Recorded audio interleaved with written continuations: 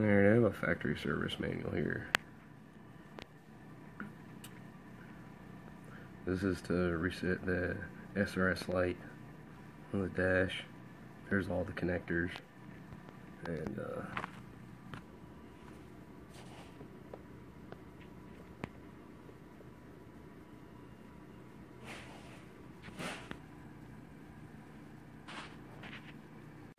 Alright, this is your MES. Remember your race signal wire for the A uh, SRS, this yellow one right here. And what you're gonna do is you're gonna jump it with one of these right here. Okay, and when I jump these, what I do is I stick it in there, but don't stick it in there to where it clicks, because then it's harder to uh, un undo it and get it out.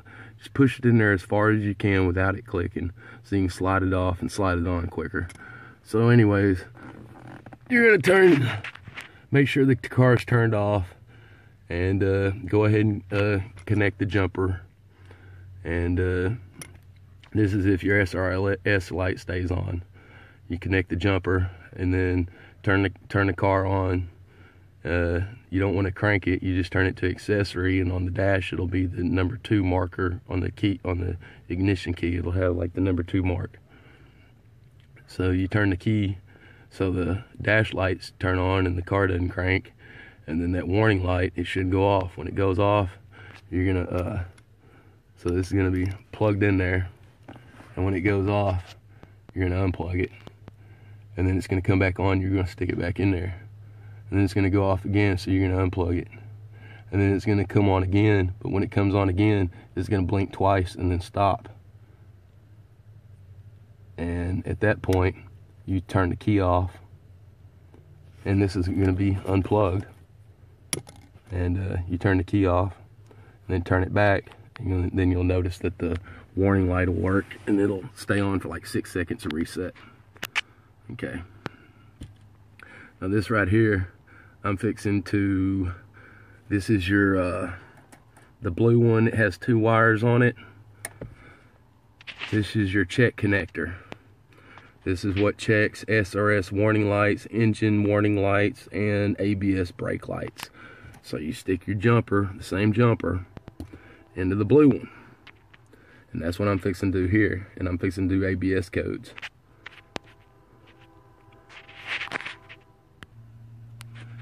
On this uh, service check jumper, this blue one, I got it plugged all the way in and the key's off. Because what I'm going to do is I'm just going to turn it to the number two mark on the ignition. We'll count the beeps on the on the warning lights. I'm gonna record it with my camera, and then whenever all that's done, I'm gonna turn the key off on the ignition, pull the key out, and then unplug this sucker right here. Okay, but uh, this one you do not have to plug it in and unplug it and all that like like the SRS. All right, keys in there. Now I'm looking for the ABS light. I mean the uh, brake light. Yeah, ABS. Okay. I'm gonna go ahead and make sure I got the parking brake down when I do this too.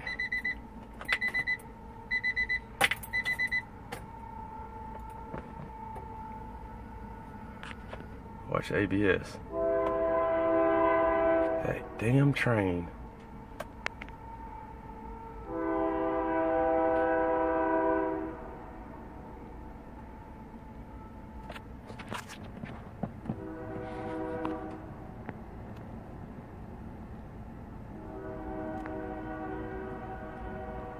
SRS is blinking, but the ABS ain't.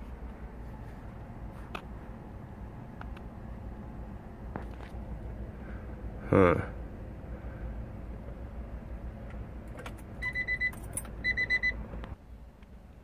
Alright, everything appears to be good. My SRS was lighting, but I already reset that. And as you can see, the SRS light's off. Uh, I did it the way that I, I told y'all. Let's see, look, my ABS light's lit up, but it wasn't throwing a code. Weird. No. So, I guess nothing's wrong with it. I did replace a wheel speed sensor uh, a while back, so I'm going to show you how to uh, erase the warning light. Now my service manual says to pull the number, the 15 amp ABS fuse, and according to this box right here, there's two of them. Um, there's a ABS B1 and B2. This top one right here says ABS B2 20 amp, or it says 15 amp ABS B2, and the next one's 20 amp ABS B1. So I don't know if anybody can see it right there. So I think I got to pull this 15 amp. It says pull the 15 amp out for three seconds and then put it back in, and that'll erase the warning light.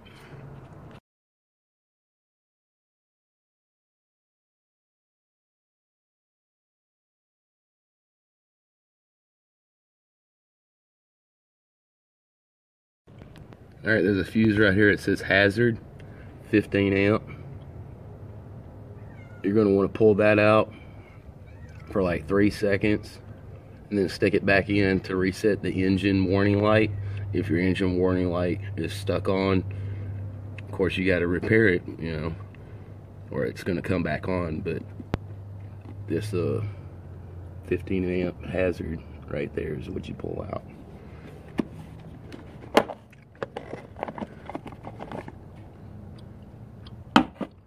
Just the one right here, far in the corner, top far corner. Pull it out for three seconds, stick it back in there, resets your engine warning light. Now when you get ready to set your ignition timing, your distributor right here, you're gonna pull this rubber plug out right here so you can stick your timing light gun or timing light in there on the flywheel okay and um,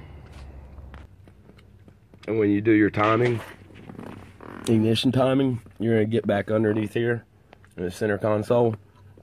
And that blue plug that I had jumped, um, trying to pull trouble codes, you're gonna uh, stick that plug inside.